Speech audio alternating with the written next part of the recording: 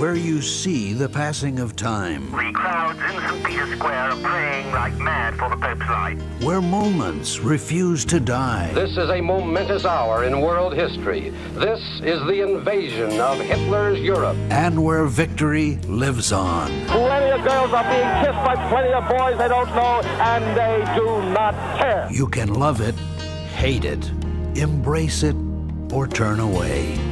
Lennon was shot to death late last night outside his apartment building. But it is a past we all share. Come on out here and give me a salute. Big Navy salute. This is where yesterday has a home, where we wonder what it was like back then. Go forward, knights, in safety. And not too long ago. His spirit must live on.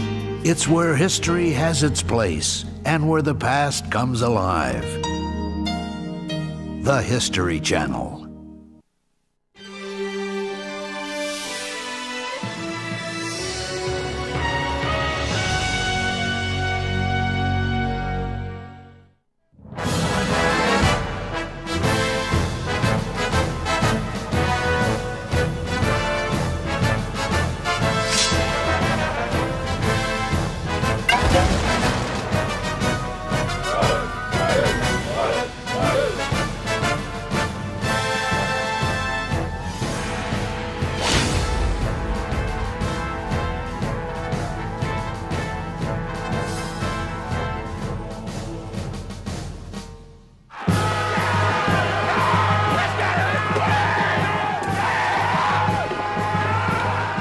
Like these have been making history since the beginning of time, banding together to do battle against a common enemy. For centuries, men have been leaving their homes and marching off to combat.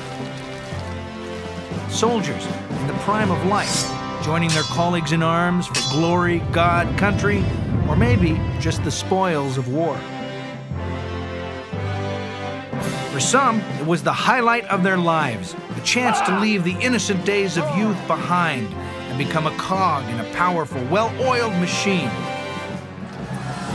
For others, it was a frightful introduction to the dark side of humanity, a test of their ability to endure the most harrowing of circumstances.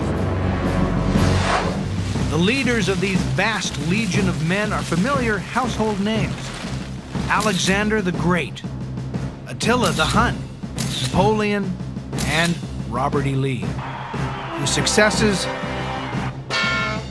and failures helped shape the history of the world. But while the generals and heads of state have always grabbed the lion's share of acclaim, the unsung heroes of warfare, the common foot soldier, have gone largely unrecognized. Yet, men in the trenches are truly the lifeblood of every standing army. If not for the courage ingenuity of the everyday foot soldier, no war would ever be won and no enemy vanquished. Who are these men who put their lives on the line every day when they go to the office? And what do they share in common with others who pursued a similar line of work? First and foremost, they were all dressed and armed for combat. Some needed elaborate suits of armor. Others traveled a little more lightly. And some hardly wore anything at all. No matter what you wore, every soldier in every conflict has been forced to march, and march, and march. We just keep walking and walking and walking. It comes with the territory, and anyone who complains, well, they don't have a foot to stand on. The Greeks, the Romans, even the barbarians Hey, who are you calling a barbarian? went to work the old fashioned way. They walked. To make matters worse, try marching 50 miles after camping out in some of the saddest, most pathetic conditions known to man. I'm talking dirt, mud, filth, lice. Lice? Oof. Martha Stewart would have to bring in her own army just to clean up the place. Then, of course, there was the food, if you can call it that. Throughout history, foot soldiers needed strong legs, strong backs, and even stronger stomachs. Half the time, they didn't know what they were eating, and that was a plus. You'd think that no one could survive this lifestyle, but survive it they did by following the old adage wine, women, and song. Oh, carnage and bloodshed got you down? Have some booze, you'll be okay. Feeling lonely? Ah, don't worry. There's a simple cure for that. In every war, in every century, the men learned the best way to keep your sanity was to keep your sense of humor. And that's no joke.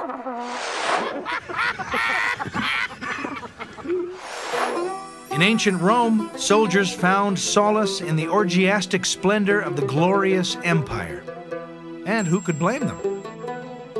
In the medieval age, men discovered that a roll in the tent with a local camp follower was a surefire remedy for everything that ailed you. Gambling also provided a welcome relief from the hazards of war, even if it meant betting on the dreaded head lice who'd become your constant bedfellows. What motivates a person to become a foot soldier? Why choose to make a career out of fighting wars when wars are a good way to get yourself killed?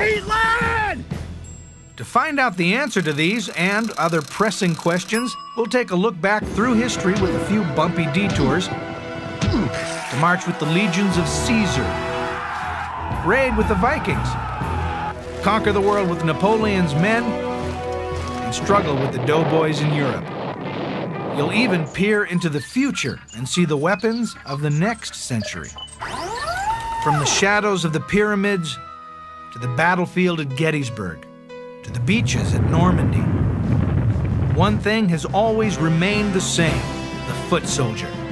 Johnny Reb, Billy Yank, G.I. Joe, fighting with dagger, sword, gun, or anything they could get their hands on.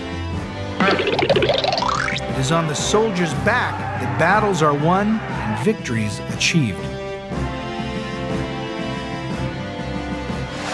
The first stop on our adventurous march through history the world's first great empire, ancient Egypt. 3,500 years ago, the place to be was ancient Egypt. Of course, it wasn't ancient then, it, it was modern day. but as a foot soldier, you would look something like this, and you'd be fighting under the blistering rays of the sun without a drop of sunscreen. Now, if you fought bravely, there were rewards at the end of the day, like this bag of booty, or perhaps a slave or two. You might even get your own piece of land where you could build your dream house, a nice, comfortable tent.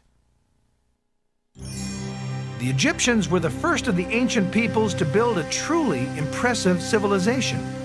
We all know about the pyramids, sphinx, and mummies, but these folks were also artists, engineers, and warriors.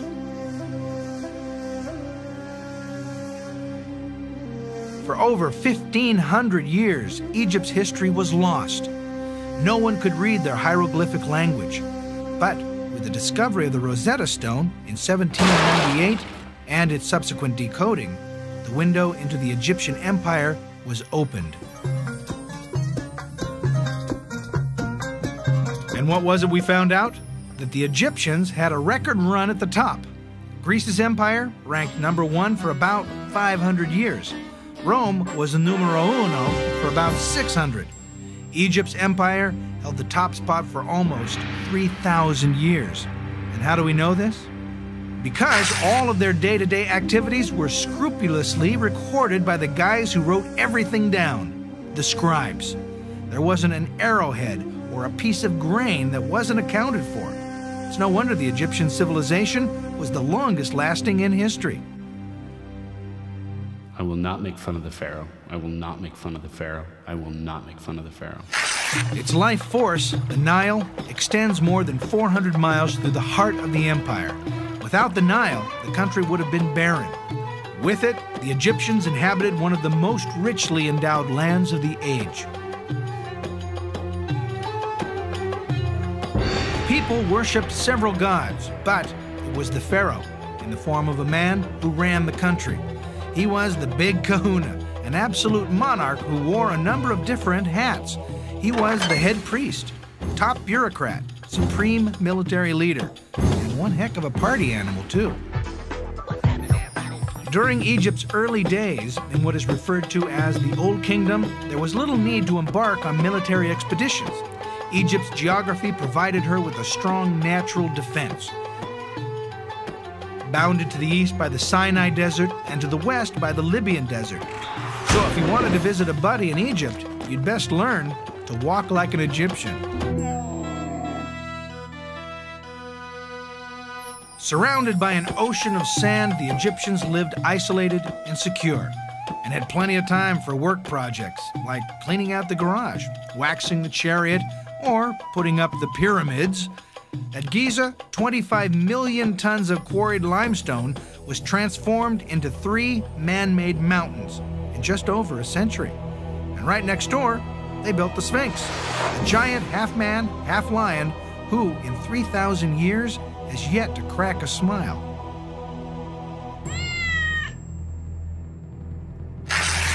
The Egyptians were also busy with trade expeditions and explorations which needed protection, and the foot soldier was just the guy to do it. Being a foot soldier in the Old Kingdom was a part time gig with a good pillaging plan, and no previous experience was necessary. The uniform was pretty basic no footwear, no body armor, just a macho skirt. By the Middle Kingdom, several touches had been added, including a headdress and sandals. The New Kingdom saw the arrival of a stylish wig, padded body armor, and my favorite innovation, a large oblong shaped groin guard. Wonder why it took a thousand years to come up with this one.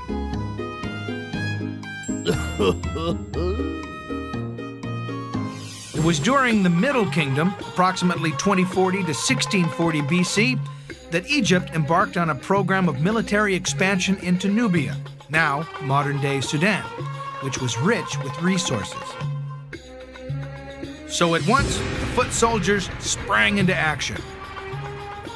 A chain of fortresses was set up along the Nile on the way to Nubia. The Egyptians' goal was twofold take control of the trade and traffic along the river, and to launch raids on the gold mines in Nubia. The forts were located at the most vulnerable points in the trade route and served as both military outposts and custom stations. 50 to 300 men were stationed in each fort depending on its size. The buildings were built tough, almost invincible. Fortified gateways, watchtowers, massive enclosed walls, and ditches made them a triumph of military architecture. This model, discovered in an ancient Egyptian tomb, reveals a great deal about the foot soldiers of the day. They were simple, scantily clad, and wore stylish Beatles haircuts. And by all indications, they kicked butt on the battlefield.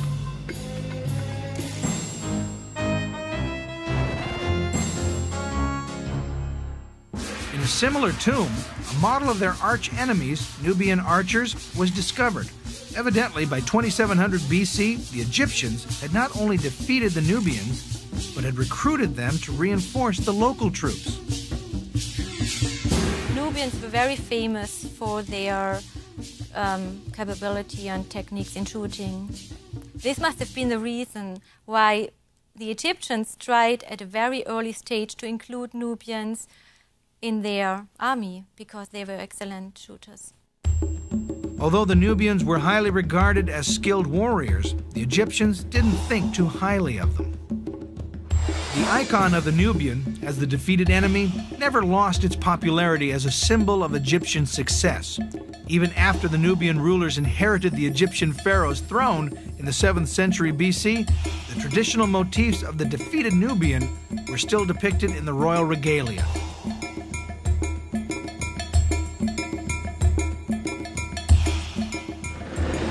Egyptian expansion into Nubia created the image of a warrior. But what it didn't do was create the need for a full standing army. Egypt had yet to feel any foreign threats and still believed it was protected from the outside world. But then something happened which would dramatically rock the world of the foot soldier, the future of Egypt, and the history of warfare. Some bad boys from the north rolled into town. By the end of the Middle Kingdom, the 17th century BC, Egypt was ruled by a foreign power. These mean hombres rode into town on chariots, something the Egyptians had yet to develop.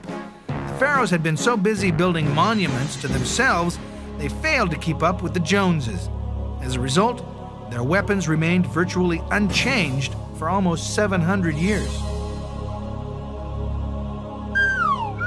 The painful truth was that the Egyptians had become a bunch of slackers. Around 1640 BC, Egypt received an abrupt lesson in the dangers of letting its armies sit around idly for centuries. Powerful Asiatic group swept down from the north and seized the Egyptian throne. Their names? The Hyksos. Hyksos burst upon the scene in their horse drawn chariots and introduced a weapon far more powerful than anything carried by the Egyptian infantry the composite eyed bow. So, really, what one had was a situation where people who were not clearly as civilized as the Egyptians, but had access to superior military technology, came in and took advantage of using the superior military technology, were able to impose their power. Egypt was now suffering its greatest indignity. To the conservative Egyptian, the Hyksos were nothing more than a bunch of, well, Hicks. And here they were, as bearded masters, disrespecting the Egyptian gods, dressing like delinquent bikers, and calling all the shots. Fortunately, there was an upside. The Egyptians were very observant and knew a good idea when they saw one. They began to copy the Hyksos military designs and learned to build the very same weapons and chariots that had been used to defeat them. After more than 150 years of domination, the Egyptians fought back. A patriotic fervor spread throughout the land. Around 1540 BC, the Egyptians rose up against their oppressors. After over 10 years of fighting, Pharaoh Ahmose finally drove out the Hyksos rulers. The bearded foreigners would no longer be running the show. The Egyptians were again masters of their own domain. Well, this is a great example of the new kingdom foot soldier. He's a little stiff, but you know, he's a lot of fun at parties. As you can see, he still doesn't have a lot to wear. But now, he's driven to succeed. Each time he slew an enemy, gold would be his reward. And to prove his claim, he'd bring home the hands of those he killed. Just like, oh, look, he brought one home. Okay. you know, on occasion, just to prove his prowess, he'd even bring home their private parts. Think he used a different bag for that? The hands were collected and placed in a hand basket, no pun intended, and then counted by the scribes. Now, if they weren't good at arithmetic, no problem. Had plenty of fingers to count with. Ahmose's victory over the Hyksos launched Egypt into a new kingdom, which lasted almost 500 years, from 1550 BC to 1070 BC. It was an era of expansion and conquest here in the place known to Hollywood filmmakers as the land of the pharaohs. The Egyptians now had a one track mind. Well, maybe two tracks. They wanted to make love and war, and knew that in order to do so, they needed to build an army so strong they would never be caught with their pants down again. During the war, of course. They decided to expand into Syria Palestine to provide a buffer zone along their northeastern border. And they continued to modernize their weapons. The Egyptians were especially adept at building chariots. Soon they were rolling off the assembly line like Fords out of Detroit. These hot rods were especially valued by the military. In fact, over the next 2,000 years, chariots were the Cadillacs of the battlefield, if you knew how to drive one.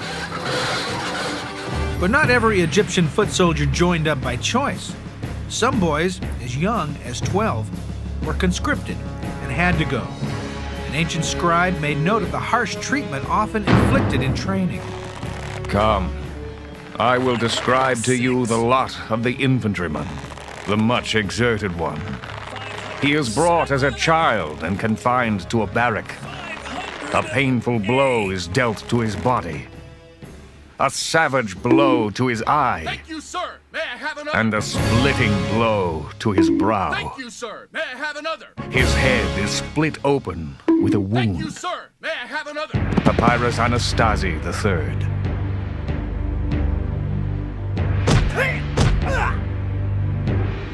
There is a distinct sense that, that, that, that compared with, say, the Assyrians or the, or the Babylonians, the Egyptians um, were in general a, a rather more peace-loving, pacifist kind of population. So we can tell from accounts of the training of these conscripted soldiers that to a large extent they were having to be molded into an aggressive fighting force.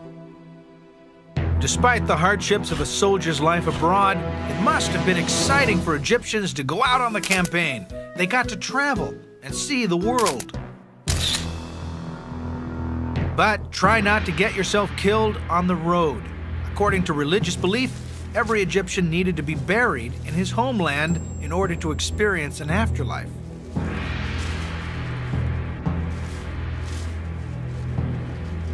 We know from sources of the New Kingdom again that on quarry expeditions, embalmers and priests were also included.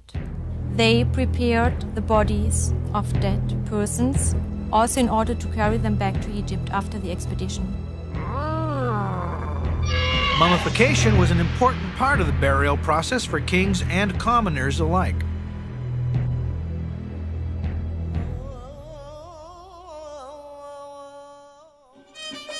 Died in the desert? Fried in a foreign land? Fear not. At Sandy Meadows, we guarantee a safe, peaceful journey to eternity. Our embalmers use the finest linens, bandages, and wrappings.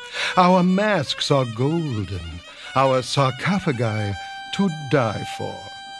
Death can be such a difficult time. Why leave immortality to chance? At Sandy Meadows, your future is in our hands. Call now, and we'll mummify your favorite pet for free. Certainly, no self respecting foot soldier was eager to end up as a mummy. To protect himself, he used an assortment of weapons, including a spear, a little axe, a shield, and a big axe. For the poor, uneducated Egyptian foot soldier, the new and improved professional army provided an opportunity to move up in life. The average length of service in the Egyptian army seems to have been um, as high as 20 years. Suggests that uh, many individuals might have spent their entire life in the Egyptian army. By this time, there was a complete military hierarchy. At the lowest rung was the foot soldier. Middle command included squad leaders, platoon leaders, and commanders. At the top of this pyramid stood the big guy, the pharaoh. All told, the Egyptian army numbered more than 10,000 men. Egypt was now ready to go into battle and pursue its imperial dreams, and it had its leader to do that, Tutmosis III. Tutmosis III was the triumphant pharaoh who set the Egyptian empire on a firm foundation for almost a century. He's considered the Napoleon of ancient Egypt, short in stature with a taste for conquering others. Tutmosis was the consummate leader. Under his guidance, the army prospered. He was personally responsible for most of the reforms that allowed the military to achieve such great success. By the time, certainly, of Tutmosis III, there is a professional corps in the army of long-term serving soldiers. Now, by that time, uh, the army had emerged as a means whereby even quite lowly born young men could enter the army and make a career for themselves. For 20 years, Tutmosis led his men into Asia almost every year. His first military objective was Megiddo, rich and powerful city-state of the Mitanni kingdom. The battle at Megiddo was the earliest in human history of which a detailed account exists. In the spring of 1468 BC, Tutmosis III told the boys, pack your lunches, we're going for a little hike. He lied. Yes, he lied. Stop complaining and keep walking. They were on their way to Megiddo, some 150 miles away. Nine days later, Tutmosis and his forces reached their base in Gaza, having covered some 15 miles a day through the Sinai. 15 miles a day, fully loaded in the scalding desert. No compass, no water resistant hiking boots, no sport utility vehicle, and no global positioning satellite. Just a lot of schlepping. The relatively few sources that describe the life of a foot soldier uh, make it sound pretty unpleasant, and one is given the impression that uh, they have to carry most of their equipment with them and they have to carry their rations with them, and that basically it's not very appetizing. Not appetizing? Ancient records reveal that bread and foul tasting water were typically carried on such journeys. Sounds worse than airplane food to me. If the soldiers were lucky, cattle were brought along or seized from villagers along the way. We do know that, for example, the average calorie intake for a soldier in the sorts of temperatures we're talking about was in the region of about 3,500 calories per day. Whew, that sounds like a lot of calories to me. And we know they weren't eating ice cream sundaes, so where were these calories coming from? Models have been found in ancient tombs which show bread being made. Other models depict Egyptian party animals brewing an original, nutritious beer. Boy, could have used friends like these back in college. Probably nobody would like nowadays to drink Egyptian beer. it was made of bread soaked in water, and then they put certain ferments into it. Uh, it's, it's alcoholic. But Egyptian beer must have been sweet and very nourishing. With their stomachs full and their heads buzzing, Tutmosis and his men flexed their military muscles and sacked a handful of towns on their way to Megiddo. According to legend, as the army advanced, Tutmosis sent some of his men to the town of Joppa, today a port city located in Israel. There, they came up with an ingenious plan to lay siege to the town. The soldiers during the reign of King Tutmosis were smuggled into Joppa inside baskets like this. This is, this is actually bigger than my first apartment in New York. Imagine trying to pick one of these up. Can you say hernia? These, my friend, are what's known as the picnic baskets from hell. As the story goes, 200 soldiers were smuggled into Joppa inside 200 baskets. Sound familiar? This was the Trojan horse, only with no Trojans and no horse. Just a bunch of clever Egyptians who managed to conquer the town. There were three possible routes into Megiddo. Tutmosis outsmarted the enemy by taking the least likely path, a narrow pass just 30 feet at its widest. They had to go single file, horse behind horse, with the chariots carried on the shoulders of the foot soldiers. They set up camp and tried to get a good night's sleep, knowing the following morning they would go into battle.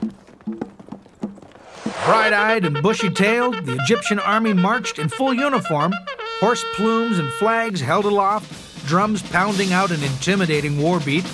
What a sight! The chariots charged first, and the enemy panicked. They retreated into Megiddo's walled city, leaving behind their weapons, chariots, and horses. So far, so good for the foot soldiers, but with so many goodies lying about, they went booty crazy. Forgot their goal was to take control of the city. They lost momentum, and it took a seven month siege before Megiddo fell.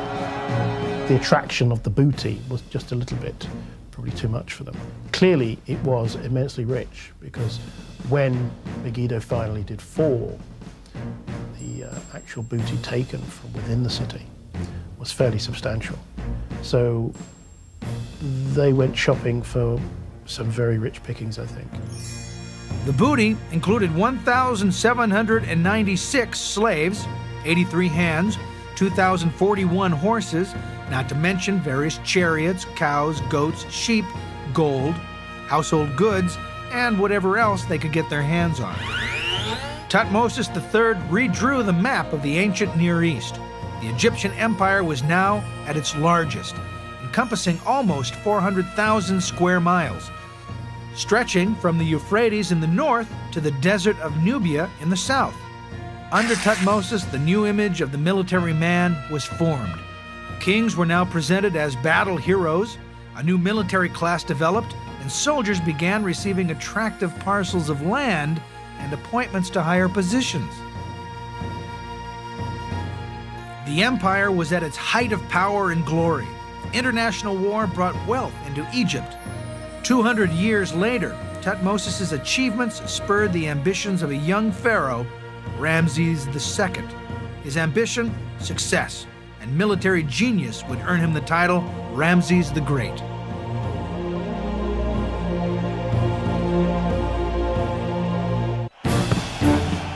All right, sports fans, let's run through some highlights. We're early in the third quarter of Egypt's 3,000 year reign. The first quarter, of the Old Kingdom had been big. The country was unified, the pyramids were built, and the mummies, they're still looking like new. The second quarter, the Middle Kingdom, had been a different story. The boys had gotten soft. The opponents had done some damage, and the home team had lost its momentum. It's going to take a big second half to regain the lead. And Ramses II was just the guy to lead the charge. Ramses. Ramses II began his rule in 1290 BC, there was trouble. Egypt's aggressiveness and self confidence was diminishing. Its golden age was coming to an end. Maybe it was the disruptive religious beliefs of a former pharaoh who'd wanted the people to worship one god instead of many. Maybe it was the incursions made by an outside power. Or maybe that relentless beating sun had just left the people burnt out. Ramses had a burning desire to restore his empire's borders. He called upon his loyal army and headed to the Syria Palestine this time to fight the advancing Hittites. The decided place for the battle was Kadesh, the bone of contention between the two empires. The bad guys, the Hittites, were from the land now known as Turkey. They moved southwest into Syria and Palestine. Ramses II called them women soldiers because of their long hair, which required a fair amount of attention. But don't get me wrong, their hair was fluff, but they were buff. The Hittites' three man chariot was the Rolls Royce of fighting machines. Sturdy and built to last, it came with a lifetime guarantee and carried three men a shield bearer, a spearman, and a driver. Good guys, our beloved Egyptians, preferred a light two man vehicle bearing just a driver and a warrior. It came equipped with arrows and javelins for long range fighting.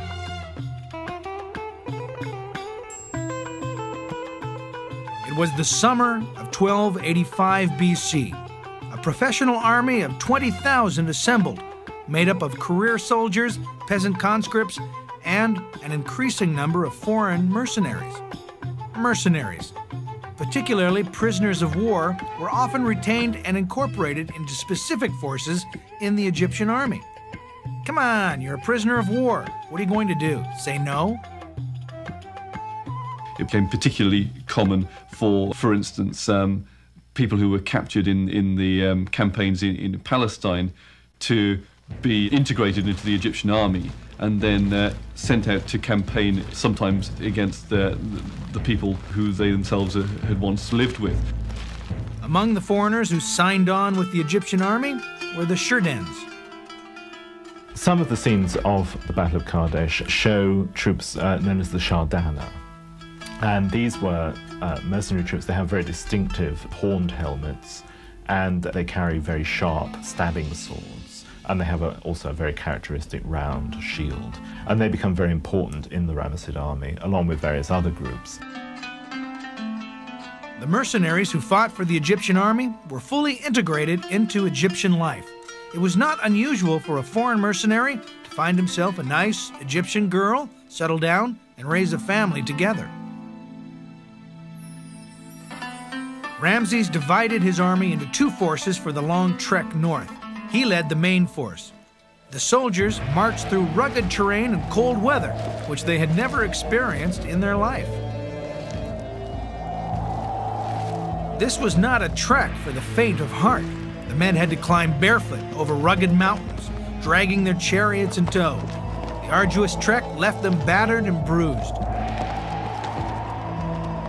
Anyone who chose to run in the opposite direction was well aware of the consequences. Punishment for desertion was putting the family to jail. This is what we know, and of course, they were also pursued.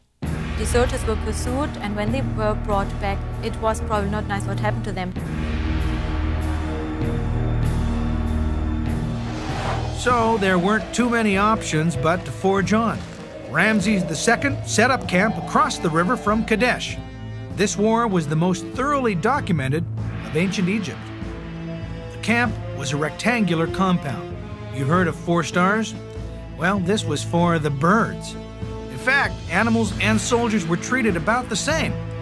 When they got to the camp, the horses, donkeys, oxen, and men were all watered and fed. Sounds like a real animal house to me. It seems to be surrounded by a large enclosure wall built out of shields and then has the, the royal sort of tent in the middle of it. Um, this seems to be a fairly large and impressive structure. Now, exactly what the accommodation provided for ordinary troops was like, we have very little evidence. But we do know that the Pharaoh's lion got his own tent. Talk about animal rights. The key to the battle was the fact that Ramses II fell for one of the oldest tricks in the book. But of course, back then, the book wasn't that old. Two men, who turned out to be spies, told him the king of the Hittites was so intimidated by his prowess that he decided not to fight. That's the sort of information you'd probably want to verify. But what did Ramses do? He sat there stone faced. So, guess what? Yep, the Hittites were just across the river from the Egyptian camp, just waiting for the right moment to attack. Maybe when Ramses was uh, in an important military meeting? Now, to make a long battle short.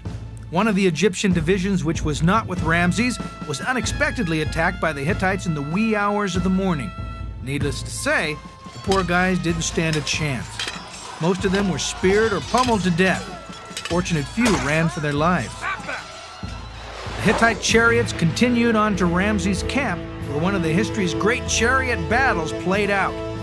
Ramses mounted his chariot and, with the assistance of only his immediate entourage, attacked the enemy. The Egyptians, with their peppy little two seaters, ran circles around the Hittites in their big, cumbersome luxury sedans. The Egyptians were able to play around just long enough for reinforcements to show up.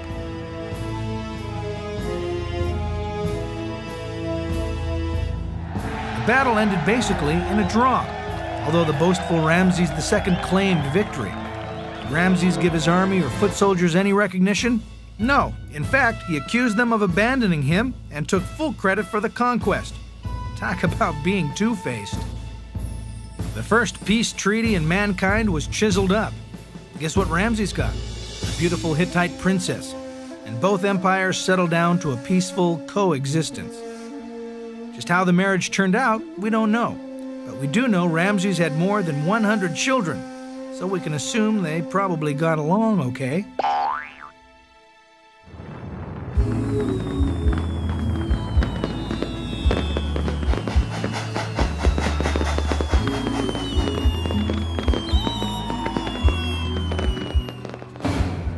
Ramses' military and social success was matched only by his tremendous ego. He issued orders to scratch out the names of the previous pharaohs which adorned the temples and monuments throughout Egypt and then replaced their names with his own.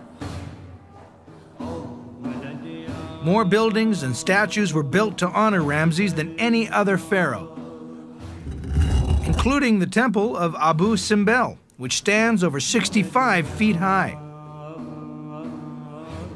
Twice a year, the rising sun shines its rays through the sanctuary doors. down a long hallway, and onto the statues of Ramses seated with the gods. That, my friends, is one colossal ego.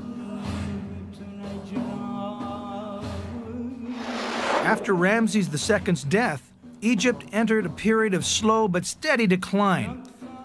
With its army and its power disintegrating, she would be called to fight another major battle, this time on land and at sea.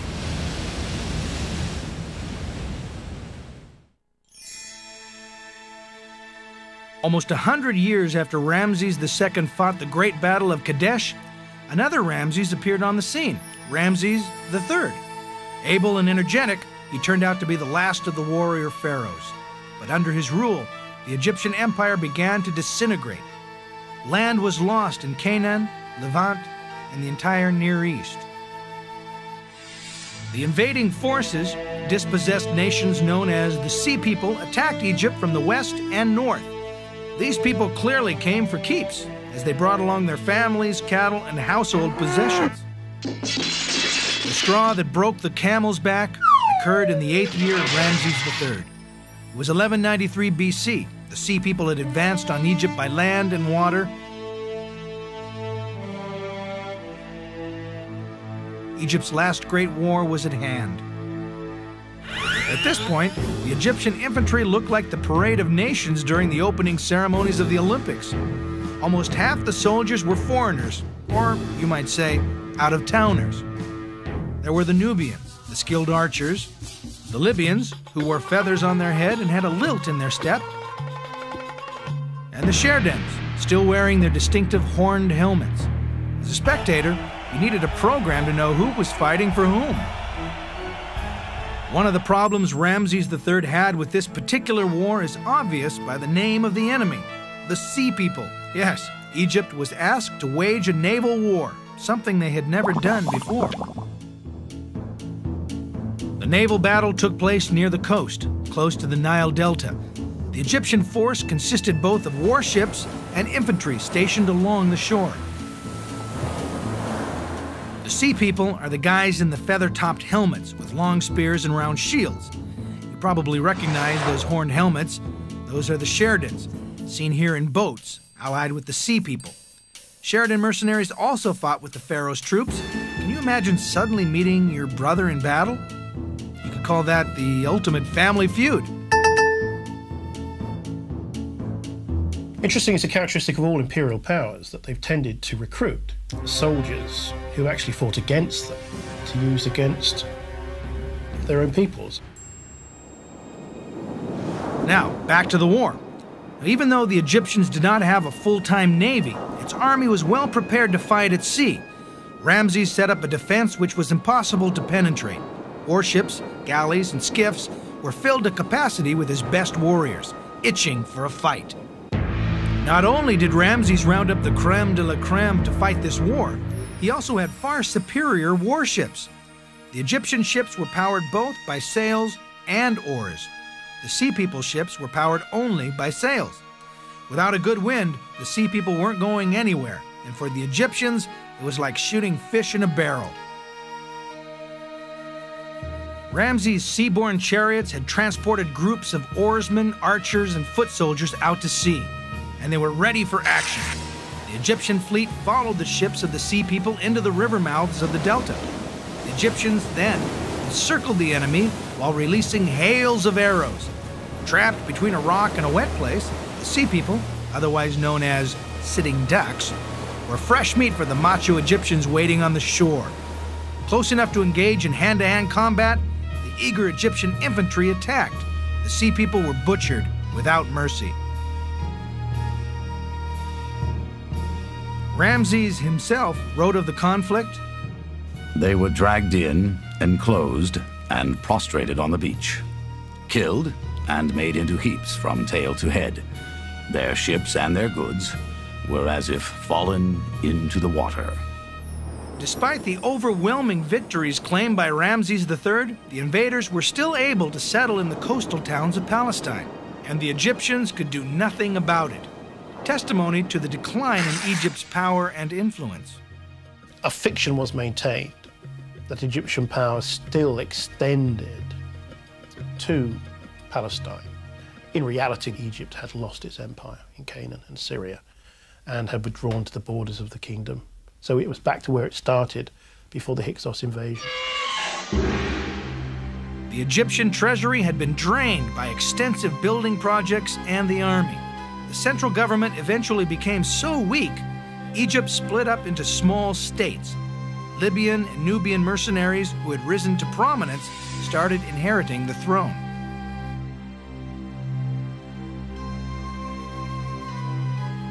About 700 BC, Ethiopian invaders entered Egypt.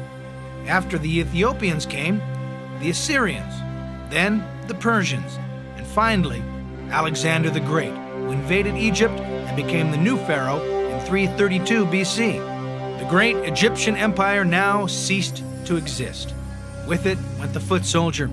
All that remains today are the great monuments and reliefs, testimonies to the wars for which the Egyptian foot soldier not only risked his life, but in some cases gave it.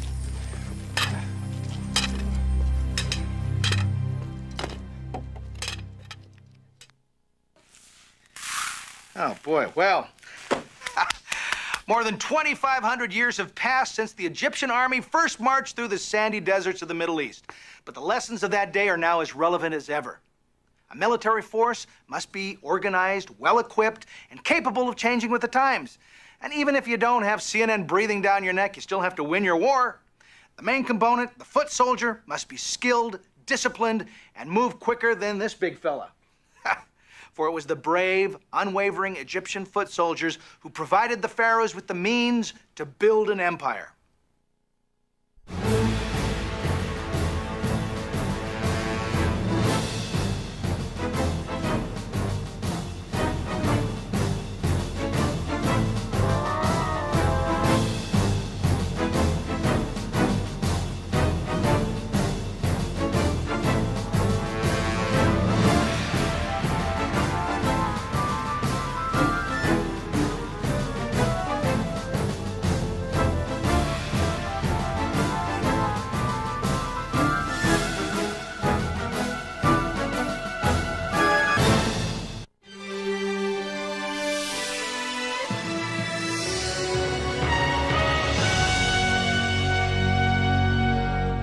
Great success. By the time, certainly, of Thutmose III, there is a professional corps in the army of long-term serving soldiers. Now, by that time, uh, the army had emerged as a means whereby even quite lowly born young men could enter the army and make a career for themselves. For 20 years, Tutmosis led his men into Asia almost every year.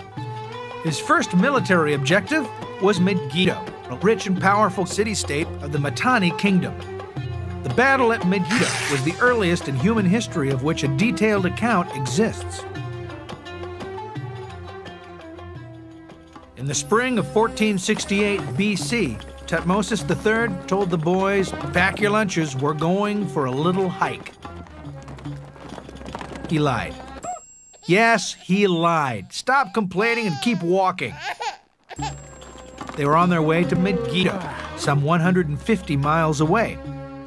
Nine days later, Tutmosis and his forces reached their base in Gaza, having covered some 15 miles a day through the Sinai. 15 miles a day, fully loaded in the scalding desert. No compass, no water-resistant hiking boots, no sport utility vehicle, and no global positioning satellite. Just a lot of schlepping. The relatively few sources that describe the life of a foot soldier uh, make it sound pretty unpleasant, and one is given the impression that uh, they have to carry most of their equipment with them and they have to carry their rations with them, and that basically it's not very appetizing. Not appetizing? Ancient records reveal that bread and foul tasting water were typically carried on such journeys. Sounds worse than airplane food to me. If the soldiers were lucky, cattle were brought along or seized from villagers along the way. We do know that, for example, the average calorie intake for a soldier in the sorts of temperatures we're talking about was in the region of about 3,500 calories per day. Whew, that sounds like a lot of calories to me. And we know they weren't eating ice cream sundaes, so where were these calories coming from? Models have been found in ancient tombs which show bread being made. Other models depict Egyptian party animals brewing an original, nutritious beer. Boy, could have used friends like these back in college. Probably nobody would like nowadays to drink Egyptian beer. it was made of bread soaked in water, and then they put certain ferments into it. Uh, it's, it's alcoholic. But Egyptian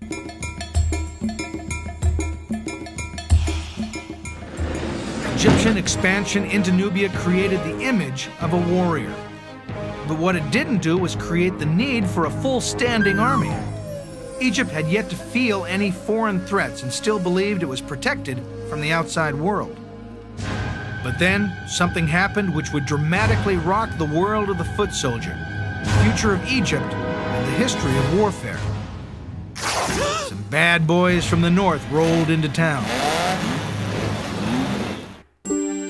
By the end of the Middle Kingdom, the 17th century BC, Egypt was ruled by a foreign power. These mean hombres rode into town on chariots, something the Egyptians had yet to develop. The pharaohs had been so busy building monuments to themselves, they failed to keep up with the Joneses. As a result, their weapons remained virtually unchanged for almost 700 years. The painful truth was that the Egyptians had become a bunch of slackers. Around 1640 BC, Egypt received an abrupt lesson in the dangers of letting its armies sit around idly for centuries. Powerful Asiatic groups swept down from the north and seized the Egyptian throne. Their names? The Hyksos. The Hyksos burst upon the scene in their horse-drawn chariots and introduced a weapon far more powerful than anything carried by the Egyptian infantry, the composite-eyed bow. So really, what one had was a situation where people who were not clearly as civilized as the Egyptians, but had access to superior military technology, came in and took advantage of weakness, and using the superior military technology, were able to impose their power. Egypt was now suffering its greatest indignity. To the conservative Egyptian, the Hyksos were nothing more than a bunch of, well, Hicks. Here they were, as bearded masters, disrespecting the Egyptian gods, dressing like delinquent bikers, and calling all the shots. Fortunately, there was an upside. The Egyptians were very observant and knew a good idea when they saw one. They began to copy the Hyksos military designs and learned to build the very same weapons and chariots that had been used to defeat them. After more than 150 years of domination, the Egyptians fought back. A patriotic fervor spread throughout the land. Around 1540 BC, the Egyptians rose up against their oppressors. After over 10 years of fighting, Pharaoh Ahmose finally drove out the oiled machine. For others, it was a frightful introduction to the dark side of humanity, a test of their ability to endure the most harrowing of circumstances. The leaders of these vast legion of men are familiar household names. Alexander the Great, Attila the Hun, Napoleon, and Robert E. Lee, whose successes and failures helped shape the history of the world. But while the generals and heads of state have always grabbed the lion's share of acclaim, the unsung heroes of warfare, the common foot soldier, have gone largely unrecognized. Yet, men in the trenches are truly the lifeblood of every standing army. If not for the courage and ingenuity of the everyday foot soldier, no war would ever be won and no enemy vanquished. Who are these men who put their lives on the line every day when they go to the office? And what do they share in common with others who pursued a similar line of work? First and foremost, they were all dressed and armed for combat. Some needed elaborate suits of armor. Others traveled a little more lightly. And some hardly wore anything at all. No matter what you wore, every soldier in every conflict has been forced to march, and march, and march. We just keep walking and walking and walking. It comes with the territory, and anyone who complains, well, they don't have a foot to stand on. The Greeks, the Romans, even the barbarians. Hey, who are you calling a barbarian? Went to work the old fashioned way. They walked. To make matters worse, try marching 50 miles after camping out in some of the saddest, most pathetic conditions known to man. I'm talking dirt, mud, filth, lice. Lice? Oof. Martha Stewart would have to bring in her own army just to clean up the place. Then, of course, there was the food, if you can call it that. Throughout history, foot soldiers needed strong legs, strong backs, and even stronger stomachs. Half the time, they didn't know what they were eating, and that was a plus. You'd think that no one could survive this lifestyle, but survive it they did by following the old adage wine, women, and song. Carnage and bloodshed got you down? Have some booze, you'll be okay. To engage in hand to hand combat? The eager Egyptian infantry attacked. The sea people were butchered without mercy. Ramses himself wrote of the conflict They were dragged in, enclosed, and prostrated on the beach, killed and made into heaps from tail to head. Their ships and their goods were as if fallen into the water. Despite the overwhelming victories claimed by Ramses III, the invaders were still able to settle in the coastal towns of Palestine, and the Egyptians could do nothing about it. Testimony to the decline in Egypt's power and influence. A fiction was maintained that Egyptian power still extended to Palestine. In reality, Egypt had lost its empire in Canaan and Syria and had withdrawn to the borders of the kingdom. So it was back to where it started before the Hyksos invasion. The Egyptian treasury had been drained by extensive building projects and the army. The central government eventually became so weak, Egypt split up into small states. Libyan and Nubian mercenaries who had risen to prominence started inheriting the throne.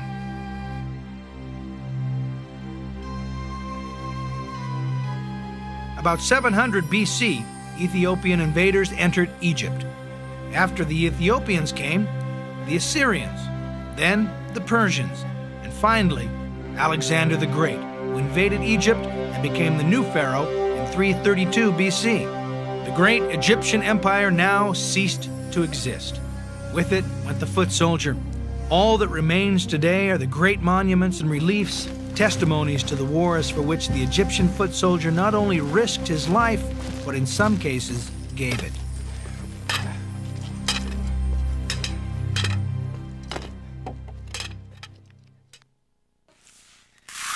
Oh, boy. Well, more than 2,500 years have passed since the Egyptian army first marched through the sandy deserts of the Middle East. But the lessons of that day are now as relevant as ever. A military force must be organized, well equipped, and capable of changing with the times. And even if you don't have CNN breathing down your neck, you still have to win your war. The main component, the foot soldier, must be skilled, disciplined, and move quicker than this big fella. For it was the brave, unwavering Egyptian foot soldiers who provided the pharaohs with the means to build an empire.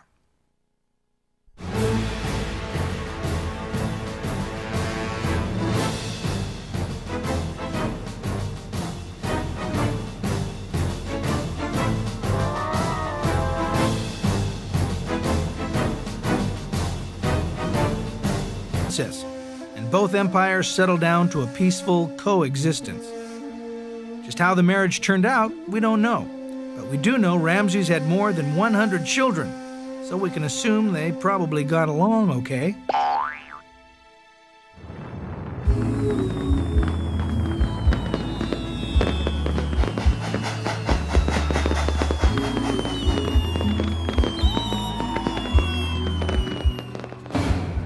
Ramses' military and social success was matched only by his tremendous ego. He issued orders to scratch out the names of the previous pharaohs which adorned the temples and monuments throughout Egypt and then replaced their names with his own. More buildings and statues were built to honor Ramses than any other pharaoh, including the temple of Abu Simbel, which stands over 65 feet high. Twice a year, the rising sun shines its rays through the sanctuary doors, down a long hallway, and onto the statues of Ramses seated with the gods. That, my friends, is one colossal ego. After Ramses II's death, Egypt entered a period of slow but steady decline. With its army and its power disintegrating, she would be called to fight another major battle, this time on land and at sea.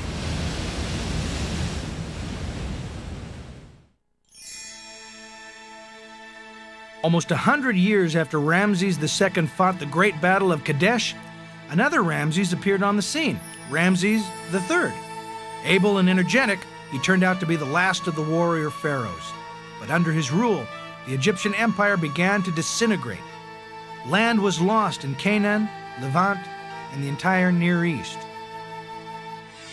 The invading forces, dispossessed nations known as the Sea People, attacked Egypt from the west and north. These people clearly came for keeps, as they brought along their families, cattle, and household possessions. The straw that broke the camel's back occurred in the eighth year of Ramses III. It was 1193 BC. The Sea People had advanced on Egypt by land and water. Egypt's last great war was at hand. At this point, the Egyptian infantry looked like the parade of nations during the opening ceremonies of the Olympics. Almost half the soldiers were foreigners, or you might say, out of towners. There were the Nubians, the skilled archers, the Libyans, who wore feathers on their head and had a lilt in their step, and the Sherdens, still wearing their distinctive horned helmets. Almost a hundred years after Ramses II fought the great battle of Kadesh, another Ramses appeared on the scene, Ramses III. Able and energetic, he turned out to be the last of the warrior pharaohs. But under his rule, the Egyptian empire began to disintegrate. Land was lost in Canaan, Levant, and the entire Near East. The invading forces, dispossessed nations known as the Sea People, attacked Egypt from the west and north. These people clearly came for keeps, as they brought along their families, cattle, and household possessions. The straw that broke the camel's back occurred in the eighth year of Ramses III. It was 1193 BC. The Sea People had advanced on Egypt by land and water. Egypt's last great war was at hand. At this point, the Egyptian infantry looked like the parade of nations during the opening ceremonies of the Olympics. Almost half the soldiers were foreigners, or you might say, out of towners. There were the Nubians, the skilled archers, the Libyans, who wore feathers on their head and had a lilt in their step, and the Sherdens, still wearing their distinctive horned helmets. As a spectator, you needed a program to know who was fighting for whom. One of the problems Ramses III had with this particular war is obvious by the name of the enemy the Sea People. Yes, Egypt was asked to wage a naval war, something they had never done before. The naval battle took place near the coast, close to the Nile Delta. The Egyptian force consisted both of warships and infantry stationed along the shore. The Sea People are the guys in the feather topped helmets with long spears and round shields. You probably recognize those horned helmets. Those are the Sherdens, seen here in boats, allied with the Sea People. Sherden mercenaries also fought with the Pharaoh's troops. Can you imagine suddenly meeting your brother in battle? You could call that the ultimate family feud. Interesting, is a characteristic of all imperial powers that they've tended to recruit soldiers who actually fought against them to use against their own peoples. Now, back to the war. Even though the Egyptians did not have a full time navy, its army was well prepared to fight at sea. Ramses set up a defense which was impossible to penetrate. Warships, galleys, and skiffs were filled to capacity with his best warriors, itching for a fight. Not only did Ramses round up the creme de la creme to fight this war, he also had far superior warships. The Egyptian ships were powered both by sails and oars. The Sea People ships were powered sleep, knowing the following morning they would go into battle. Bright eyed and bushy tailed, the Egyptian army marched in full uniform, horse plumes and flags held aloft, drums pounding out an intimidating war beat. What a sight! The chariots charged first, and the enemy panicked. They retreated into Megiddo's walled city, leaving behind their weapons, chariots, and horses. So far, so good for the foot soldiers, but with so many goodies lying about, they went booty crazy. Forgot their goal was to take control of the city. They lost momentum, and it took a seven month siege before Megiddo fell. The attraction of the booty was just a little bit probably too much for them. Clearly, it was immensely rich because when Megiddo finally did fall, the uh, actual booty taken from within the city was fairly substantial. So they went shopping for some very rich pickings, I think.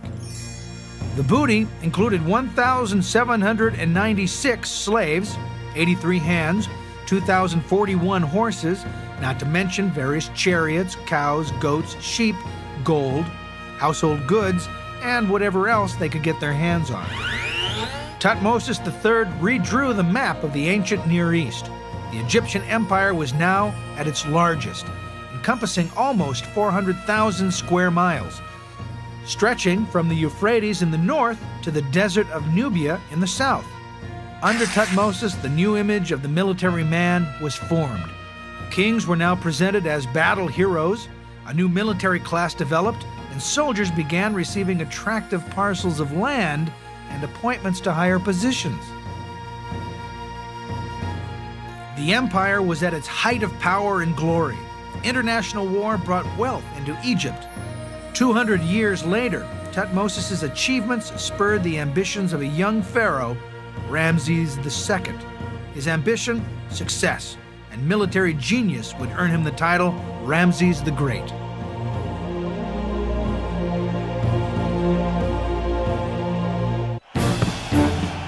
All right, sports fans, let's run through some highlights.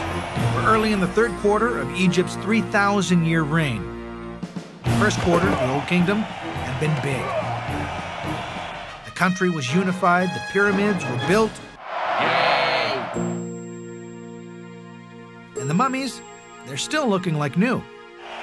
The second quarter, the Middle Kingdom, had been a different story. The boys had gotten soft. The opponents had done some damage, and the home team had lost its momentum. It's going to take a big. In the Ramessid army, along with various other groups. The mercenaries who fought for the Egyptian army were fully integrated into Egyptian life. It was not unusual for a foreign mercenary to find himself a nice Egyptian girl, settle down, and raise a family together. Ramses divided his army into two forces for the long trek north. He led the main force. The soldiers marched through rugged terrain and cold weather, which they had never experienced in their life. This was not a trek for the faint of heart. The men had to climb barefoot over rugged mountains, dragging their chariots in tow. The arduous trek left them battered and bruised. Anyone who chose to run in the opposite direction was well aware of the consequences. Punishment for desertion was putting the family to jail. This is what we know, and of course, they were also pursued. Deserters were pursued, and when they were brought back, it was probably not nice what happened to them. So there weren't too many options but to forge on. Ramses II set up camp across the river from Kadesh. This war was the most thoroughly documented of ancient Egypt. The camp was a rectangular compound. You've heard of four stars? Well, this was for the birds. In fact, animals and soldiers were treated about the same. When they got to the camp, the horses, donkeys, oxen, and men were all watered and fed.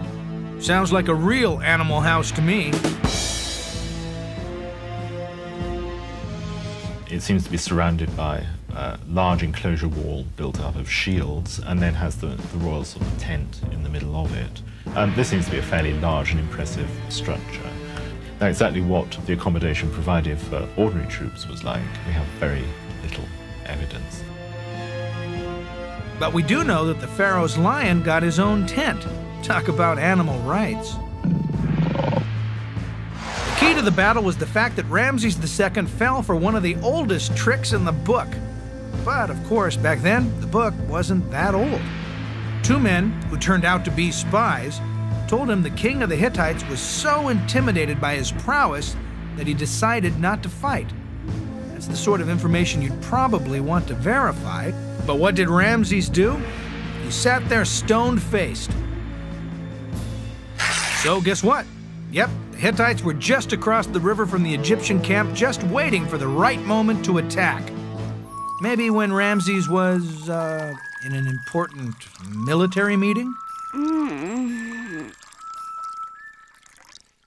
Now, to make a men discovered that a roll in the tent with a local camp follower was a surefire remedy for everything that ailed you. Gambling also provided a welcome relief from the hazards of war, even if it meant betting on the dreaded head lice who'd become your constant bedfellows.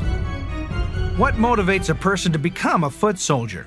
Why choose to make a career out of fighting wars when wars are a good way to get yourself killed?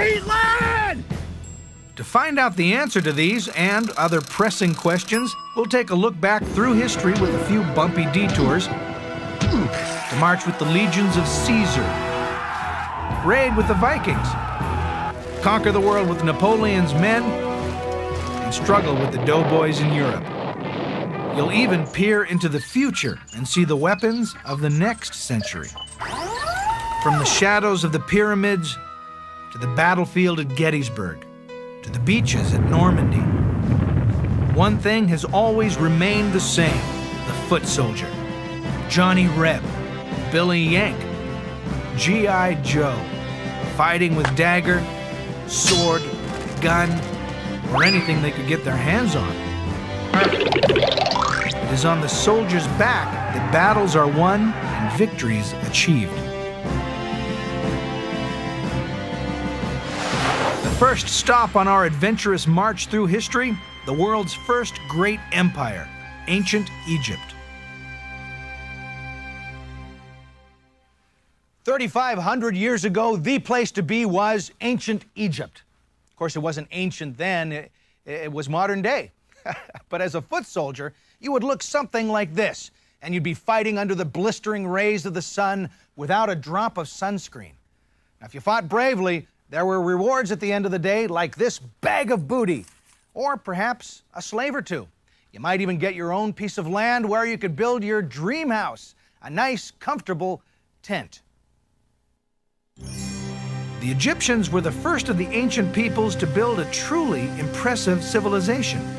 We all know about the pyramids, sphinx, and mummies, but these folks were also artists, engineers, and warriors.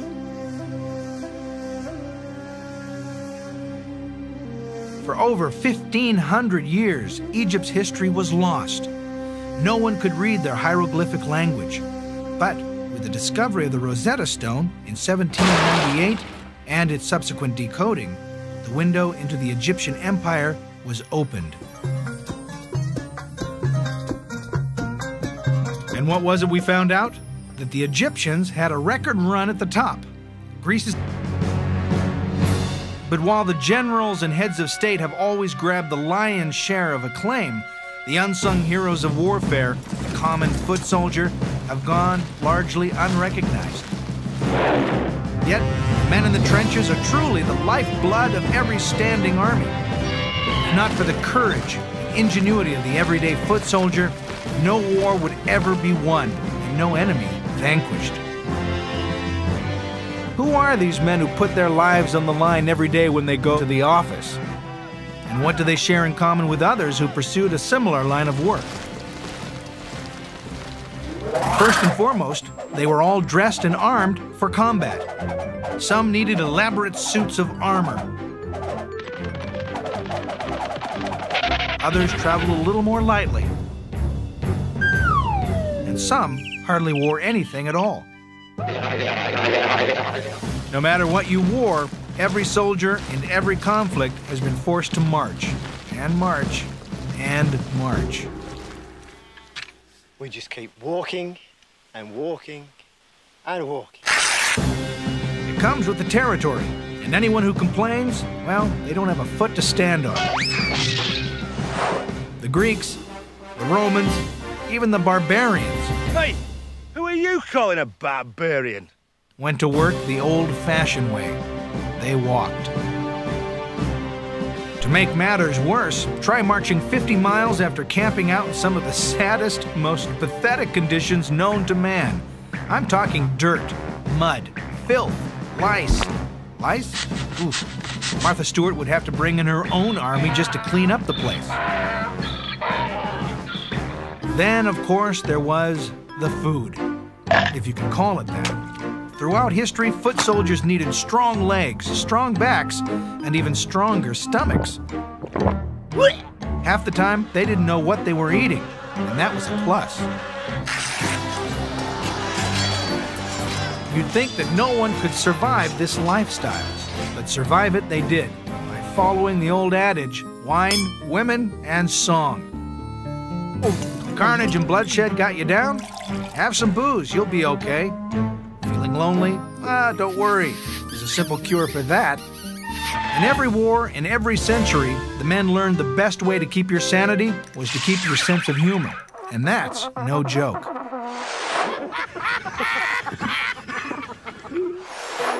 In ancient Rome, soldiers found solace in the orgiastic splendor of the glorious empire. And who could blame them? In the medieval age, men discovered that a roll in the tent with a local camp follower was a surest. They had to go single file, horse behind horse, with the chariots carried on the shoulders of the foot soldiers. They set up camp and tried to get a good night's sleep, knowing the following morning they would go into battle. Bright eyed and bushy tailed, the Egyptian army marched in full uniform, horse plumes and flags held aloft, drums pounding out an intimidating war beat. What a sight! The chariots charged first, and the enemy panicked. They retreated into Megiddo's walled city, leaving behind their weapons, chariots, and horses. So far, so good for the foot soldiers, but with so many goodies lying about, they went booty crazy. Forgot their goal was to take control of the city. They lost momentum, and it took a seven month siege before Megiddo fell. The attraction of the booty was just a little bit probably too much for them. Clearly, it was immensely rich because when Megiddo finally did fall, the uh, actual booty taken from within the city was fairly substantial. So they went shopping for some very rich pickings, I think. The booty included 1,796 slaves, 83 hands, 2,041 horses, not to mention various chariots, cows, goats, sheep, gold, household goods, and whatever else they could get their hands on. Tutmosis III redrew the map of the ancient Near East. The Egyptian Empire was now at its largest, encompassing almost 400,000 square miles, stretching from the Euphrates in the north to the desert of Nubia in the south. Under Tutmosis, the new image of the military man was formed. Kings were now presented as battle heroes, a new military class developed, and soldiers began receiving attractive parcels of land and appointments to higher positions. The empire was at its height of power and glory. International war brought wealth into Egypt. 200 years later, Tutmosis' achievements spurred the ambitions of a young pharaoh, Ramses II. His ambition, success, and military genius would earn him the title Ramses the Great.